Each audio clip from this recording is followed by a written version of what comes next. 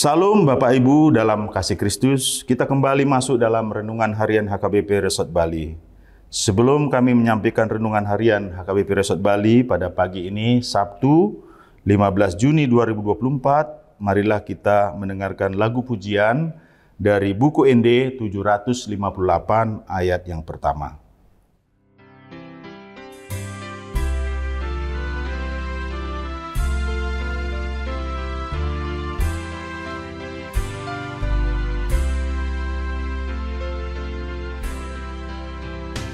Just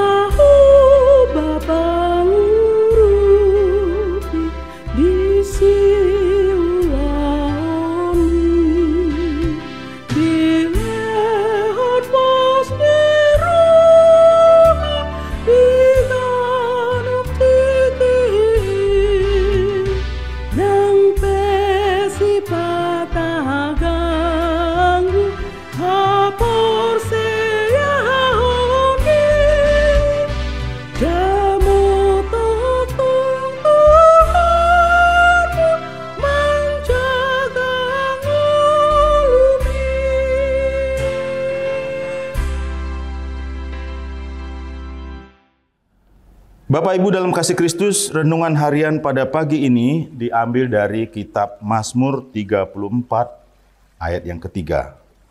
Namun sebelum kami bacakan firman Tuhan pada pagi ini, marilah kita awali dengan berdoa. Bapa dalam nama Tuhan Yesus Kristus, kami kembali tak henti-henti untuk berterima kasih dan bersyukur karena Tuhan memberikan kesehatan, berkat kesehatan buat hambamu untuk menyampaikan firman Tuhan melalui renungan pagi ini kepada seluruh jemaatmu di mana pun berada. Kiranya kuasamu yang rohmu yang kudus yang senantiasa menuntun hambamu untuk menyampaikan firman Tuhan pagi ini. Amin.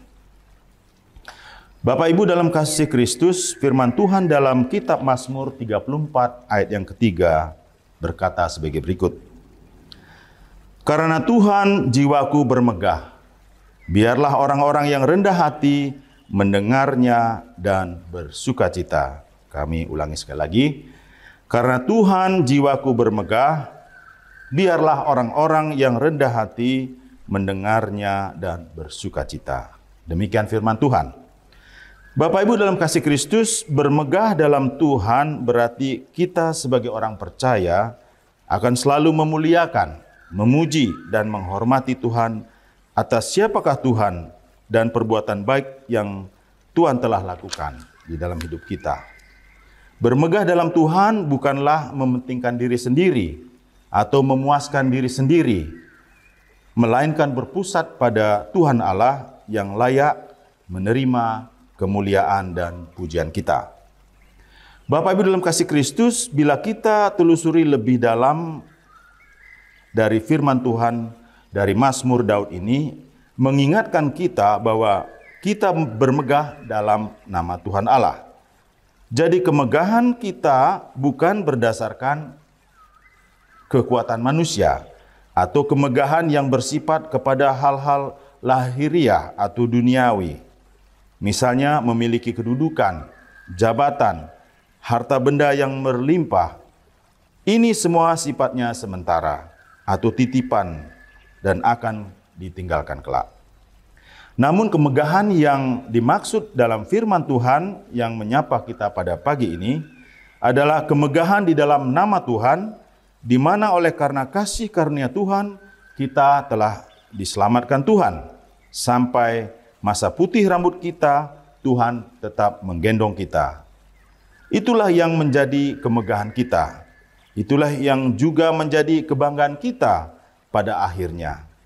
Sebab orang-orang yang mengandalkan kekuatan manusia dan bukan mengandalkan kekuatan yang berasal dari Tuhan, kelak akan jatuh. Dan kapan waktunya jatuh, kita tinggal tunggu waktunya saja.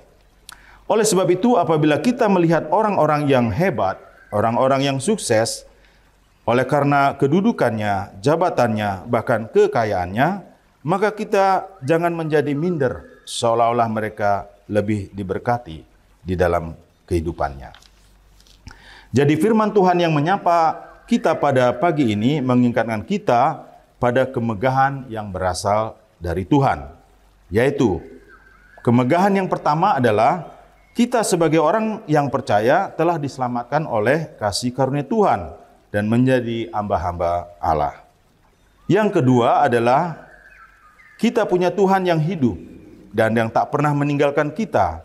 Dan kemegahan yang ketiga adalah kita menyadari bahwa Tuhan kita adalah Tuhan yang maha dahsyat, yang kuat, yang perkasa, yang dapat melakukan apa saja di dalam kehidupan kita. Oleh sebab itu, sebagai orang yang percaya, maka tetaplah bermegah dan berbangga bukan atas apa yang telah kita miliki secara lahiriah, tetapi bermegahlah senantiasa dalam nama Tuhan, karena kita sudah diselamatkan, dikuatkan, ditolong di dalam setiap pergumulan hidup yang kita hadapi setiap hari. Namun kita tidak sampai jatuh tergeletak, akan tetapi kita tetap kuat, tetap teguh, oleh karena kita telah diberikan kekuatan yang berasal dari Tuhan. Amin. Mari kita berdoa. Terima kasih Tuhan Yesus Kristus kami telah mendengarkan sebagian dari firman-Mu. Biarlah firman-Mu yang senantiasa memberikan kekuatan baru untuk kami menjalani kehidupan kami setiap hari. Amin. Bapak Ibu dalam kasih Kristus, demikianlah renungan singkat pada pagi ini. Kiranya seluruh aktivitas dan pekerjaan yang kita lakukan setiap hari diberkati Tuhan Yesus. Amin. Horas.